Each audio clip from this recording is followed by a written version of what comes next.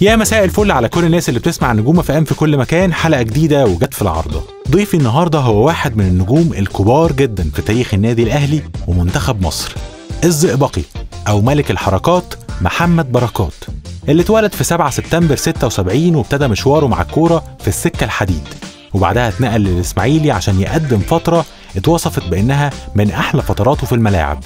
وبعدها رحلة احتراف في الخليج أهلي جدة السعودي والعربي القطري ورجع مرة تانية الدوري المصري لكن عن طريق بوابة النادي الأهلي ملك الحركات اللي اتسمى باللقب ده علشان سرعته الكبيرة وتسجيله للأهداف الصعبة وكان واحد من أفراد كتيبة مانويل جوزيه اللي اتوصفت بأنها الجيل الذهبي للنادي الأهلي مع ابو تريكه وفلافيو ومتعب وشوقي وغيرهم من النجوم الكبار. توج بركات مع منتخب مصر بكأس الأمم 2006 وحصل مع النادي الأهلي على خمسة دوري أبطال أفريقيا. ده غير ألقاب الدوري والكاس والسوبر لأكتر من مرة في مشواره وكمان حقق مع الإسماعيلي بطولة للدوري وبطولة للكاس. غاب بركات عن بطولتين لكاس الأمم الإفريقية مع منتخب مصر سنة 2008 و2010 بسبب الإصابة.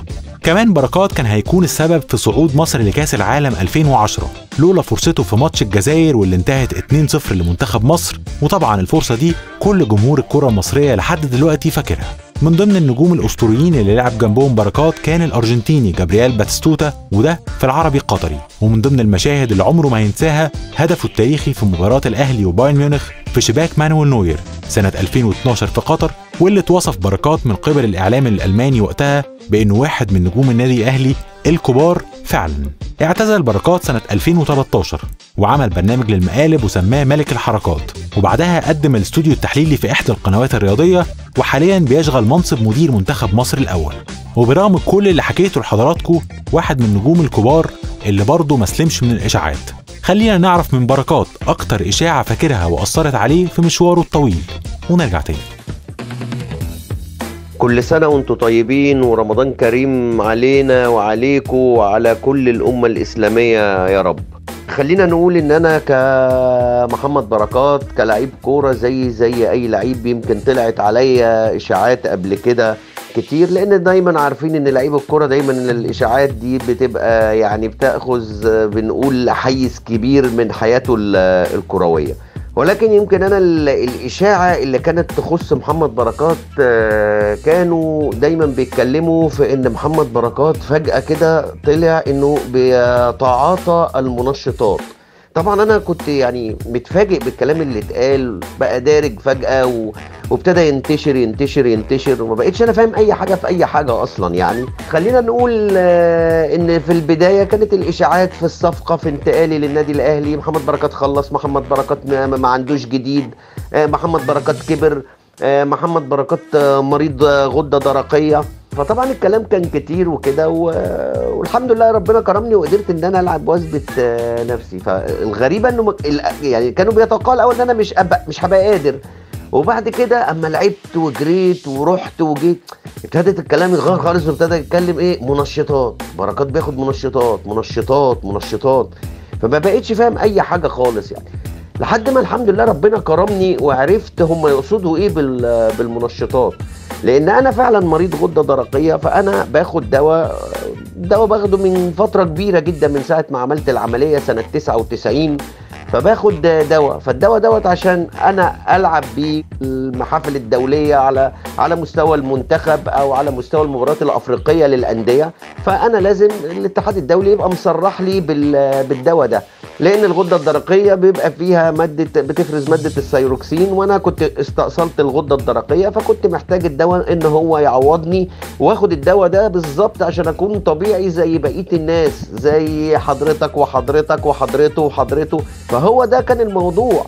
وبعدين اكتشفت بقى الحقيقة إن هم بيقولوا إن أنا باخد منشطات علشان الدواء ده. فطبعا يمكن يعني الناس طبعا ما بتبقاش فاهمة وأول واحد بيقول الكلمة فالناس كلها بتمشي وراه وقعدت فترة كبركات بيتعاطى منشطات لحد ما الحمد لله قدرنا نقنع الناس في الآخر إن ده دواء مصرح بيه من الاتحاد الدولي رخصته بتتجدد كل فترة علشان أقدر ألعب بيه والدواء ده بيخليني طبيعي زي كل البني آدمين اللي موجودين في الدنيا وكل سنة وانتوا طيبين.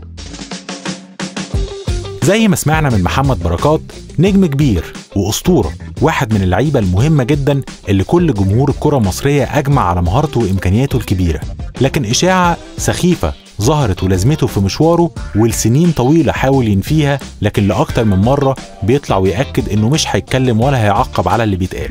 المنشطات بسبب الغدة الدرقية. قبلها كان في إصابة مزمنة وقبلها كان في أصله مش هيقدر يكمل في الكورة وقبلها في أصله كبر وخلص لكن إشاعة الغدة الدرقية والمنشطات فضلت ملازماه لمدة طويلة جدا.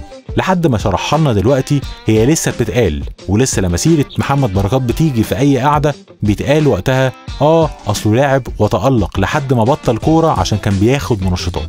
خلينا نقول إن المنشطات من ضمن الحاجات اللي طبعا بتلازم اللعيبة وساعات بتأثر على سمعتها في الملاعب لكن في نفس الوقت في حالات كتيرة بتبقى المنشطات مسموح بيها وبتاخد تصريح بيها من الاتحاد الدولي لكرة القدم زي في حالة نجمنا النهاردة محمد بركات اللي شرح ووصف الحكاية كانت عاملة إزاي. لكن عندنا في مصر الناس دايما بتدخل في التفاصيل الفنية والكروية والطبية وكل اللي انت عايز تقوله بتقوله.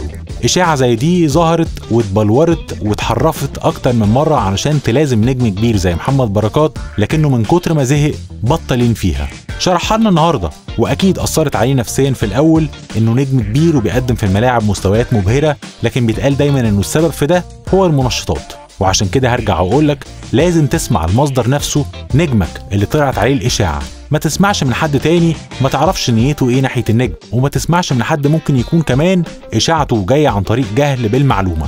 محمد بركات نجم كبير والإشاعة ما أثرتش عليه. لحد النهارده شعبية كبيرة جدا للزئبقي محمد بركات مش بس عند جمهور الأهلي ولا جمهور الإسماعيلي فقط لكن كمان جمهور الزمالك بيحبه وكل جمهور الكرة المصرية بيحبه. ملك الحركات محمد بركات.